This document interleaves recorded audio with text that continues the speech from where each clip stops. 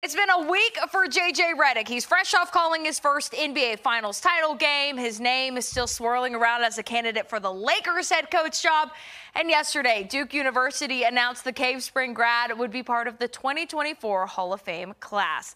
Of course, JJ is no stranger to Hall of Fames. 10 Sports was there in 2022 when he was inducted into the Virginia High School League Hall of Fame. The three time All American and two time ACC tournament MVP is known as one of the most prolific scorers in college hoops history.